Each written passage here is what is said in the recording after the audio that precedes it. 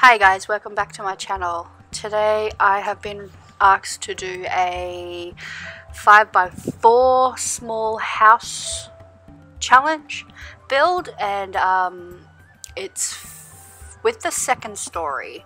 So I tried as fast as I could like to get everything in there that I could get in there when I did the second story.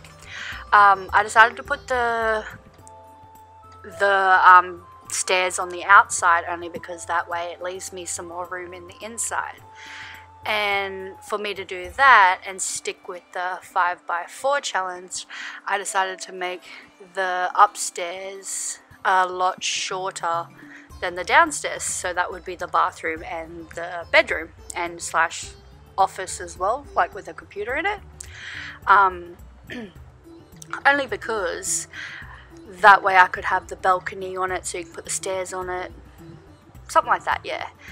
Um, if you want me to do any more of these challenges, please don't hesitate to comment down below what challenges you are looking for and anything you would like me to help you try and build. As some of you know, I am just a a fresh starting one. As you can say I haven't really done many videos um, as I've been really busy in my personal life. Um, but as you can see on here also um, my computer had a glitch in some parts of it. So some parts will be already built as you saw when the bathroom was being built the other side was already built like already done like the floors and everything and like what just happened just then.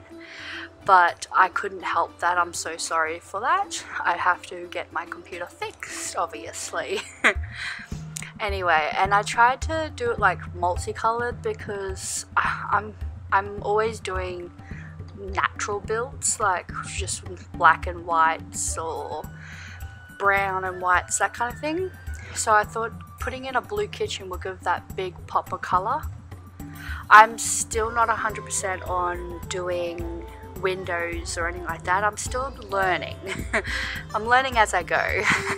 so some of the builds that I do don't have windows on the back only because I just don't I don't understand like I don't know. My point of view you don't see the back on this on it on it so you don't really need windows. But yeah so I, I didn't like that couch in the end. I decided to change it. Right here just the color.